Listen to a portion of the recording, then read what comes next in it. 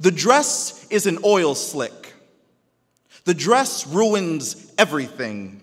In a hotel room by the water, I put it on when he says, I want to watch you take it off.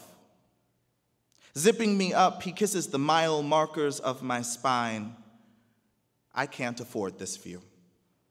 From here, I see a city that doesn't know it's already drowning. My neck shivers from the trail of his tongue. I keep my eyes on the window just past his bald spot. He's short. The dress will survive us.